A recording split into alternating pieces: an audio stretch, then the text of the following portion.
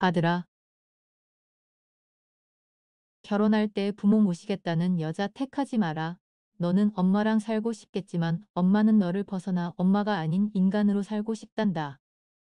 엄마한테 효도하는 며느리를 원하지 마라. 내 효도는 너 잘 사는 걸로 족하거늘 내 아내가 엄마 흉을 보면 내가 속상한 것 충분히 이해한다.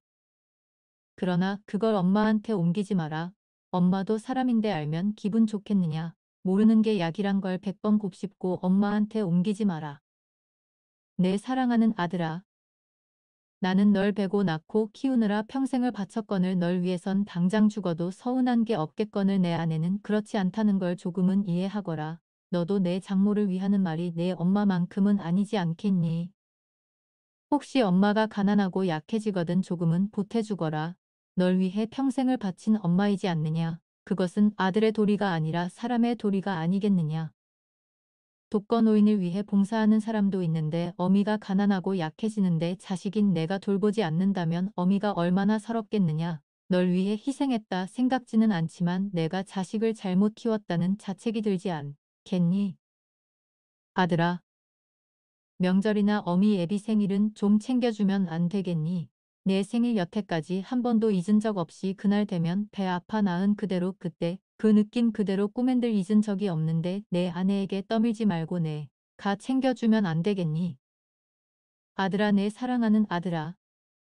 내 아내가 내 어미에게 효도하길 바란다면 내가 먼저 내 장모에게 잘 하려무나 내가 고른 아내라면 너의 고마움을 알고 내게도 잘 하지 않겠니?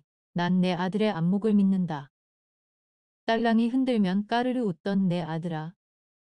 그런데 내 여동생 그 애도 시집을 가겠지. 그러면 내 아내와 같은 처지가 되지 않겠니? 항상 내 아내를 내 여동생과 비교해 보거라. 내 여동생이 힘들면 내 아내도 힘든 거란다. 내 아들아 내 피눈물 같은 내 아들아. 내 행복이 내 행복이 아니라 내 행복이 내 행복이건을 혹여 나 때문에 너희 가정에 해가 되거든 나를 잊어다오. 그건 어미의 모정이란다. 너를 위해 목숨도 아깝지 않은 어미인데 너의 행복을 위해 무엇인들 아깝겠느냐. 물론 서운하겠지. 힘들겠지. 그러나 죽음보다 힘들이야. 그러나 아들아. 내가 가정을 이룬 후 어미 애비를 이용하지 마라 다오. 평생 너의 행복을 위해 애써온 부모다. 이제는 어미 애비가 좀 편안히 살아도 되지 않겠니? 너희 힘든 것 너희들이 알아서 살아다오. 늙은 어미 애비 이제 좀 쉬면서 삶을 마감하게 해다오.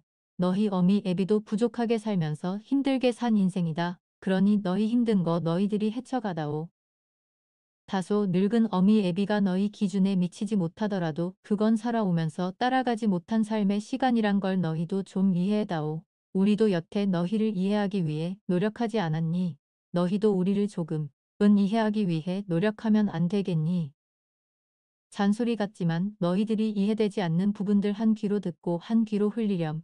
우린 그걸 모른단다. 모르는 게 약이란다. 아들아. 우리가 원하는 건 너희들의 행복이란다. 그러나 너희도 늙은 어미 애비의 행복을 침해하지 마라 다오. 손자 길러달라는 말 하지 마라. 너보다 더 귀하고 예쁜 손자들이지만 매일 보고 싶은 손자들이지만 늙어가는 나는 내 인생도 중요하구나. 강요하거나 은근히 말하지 마라. 날 나쁜 시어미로 몰지 마라. 내가 널 온전히 길러 목숨마저 아깝지 않듯이 너도 내 자식 온전히 길러 사랑을 느끼거라. 아들아. 사랑한다 목숨보다 사랑한다. 그러나 목숨을 바치지 않을 정도에서는 내 인생도 중요하구나.